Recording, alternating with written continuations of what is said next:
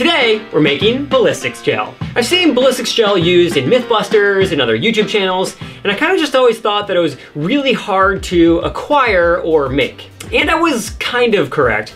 There's a ton of really cool and interesting information about ballistics gel creation and usage, but it's really actually not that difficult to make at home.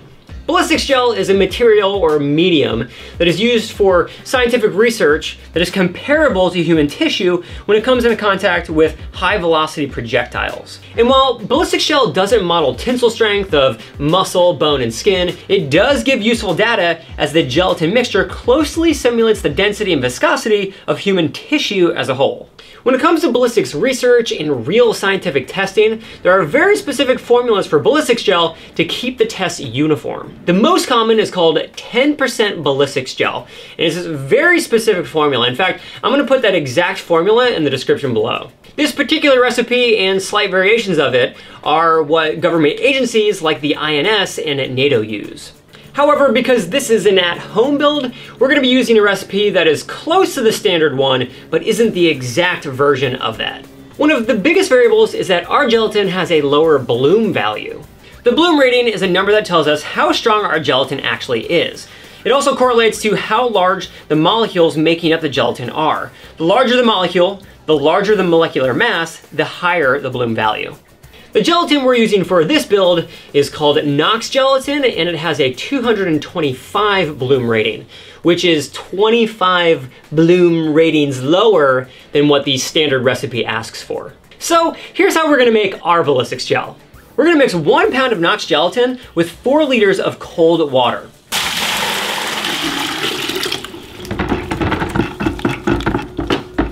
Consistency is so strange, like potato soup with dumplings. It's hard work, but at least it's honest. So the next step is we're gonna pour this into our container. Yummy! We're then gonna put this mixture into the fridge for two hours. All right, two hours later, we've got some my fine gelatin up in here. I'll lift with the legs. Ooh very jelly-like. So, the next step is, I'm gonna kind of rip this into little chunkies. After that, we're gonna melt it down to a temperature never exceeding 130 degrees Fahrenheit. 23.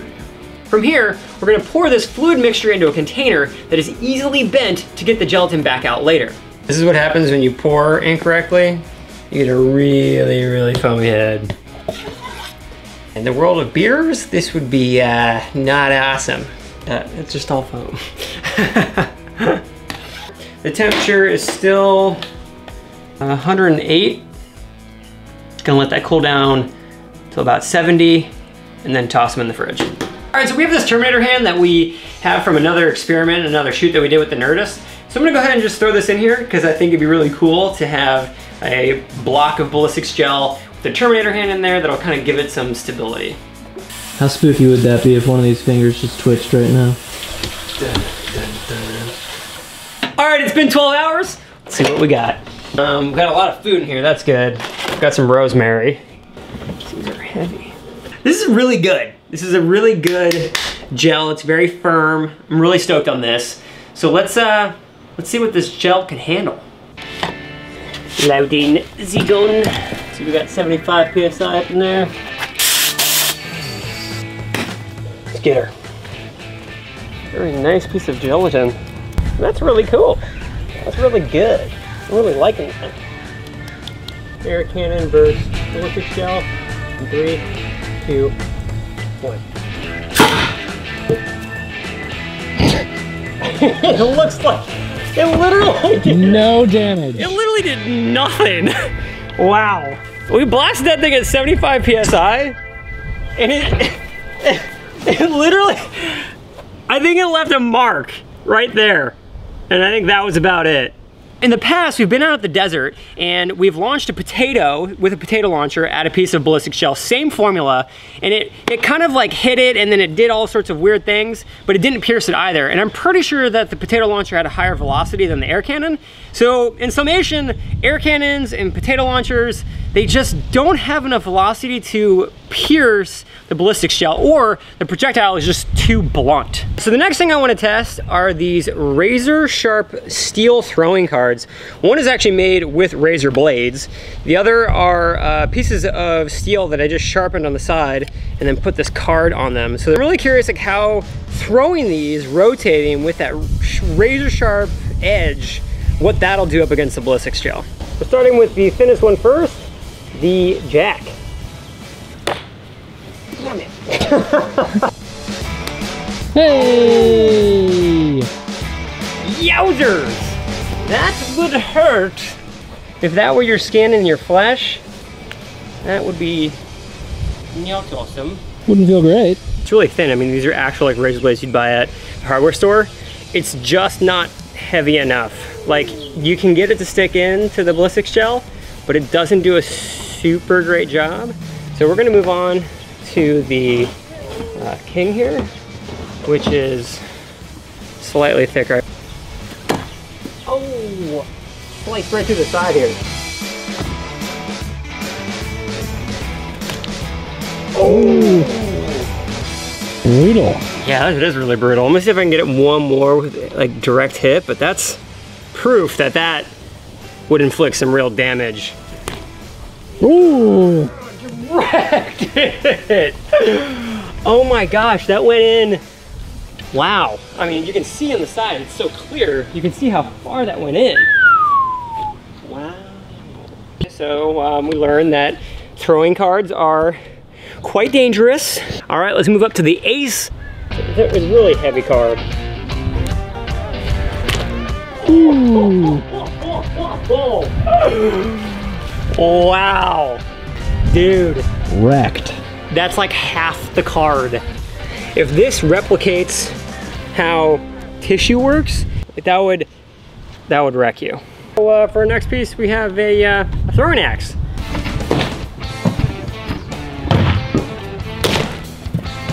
Ta-da!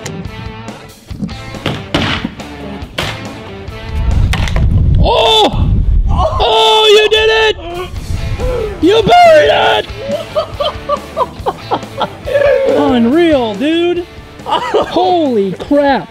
Wow. What this means is, um, based off of the data from the ballistics gel, is that a throwing axe is extremely dangerous. Since these tests are already really strange for what we're actually throwing at our uh, ballistics gel block, uh, for our next test, we're gonna throw this saw blade at it and see what happens.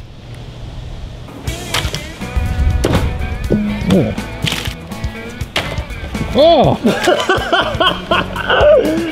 I mean, that was pretty, that was pretty good. Okay, so what we learned is, is that a saw blade doesn't really do a good job at penetrating ballistics gel.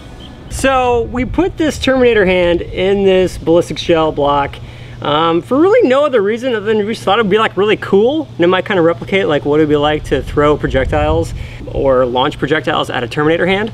And what we're gonna do is we're going to throw something that you probably didn't think that we were gonna use. We're going to use, your parents always told you never to run with them, scissors. it's like a scary movie, you know? yeah. Scissor test. Three, two, one. Wow. What? That was flawless timing. Okay. It's just like a slap. No! Oh no! So after losing the leg on the tripod and uh, me trying like roughly 4,600 times, I uh, gave it over to Caleb. he got it on the third try. So apparently scissors are uh, very uh, good at, at piercing ballistics gel. You just have to be able to throw it correctly, and I just uh, wasn't doing that. Okay, there we go. We learned about ballistics gel, what it's actually used for in the scientific world, and how to make an at-home recipe. And then we used a plethora of projectiles up against our ballistics gel that we made at home. Um, if you guys like this video, make sure you give us a thumbs up in the comment section below. Let me know what other things would you use up against ballistics gel. If you haven't yet, hit that subscribe button, and I'll see you really soon.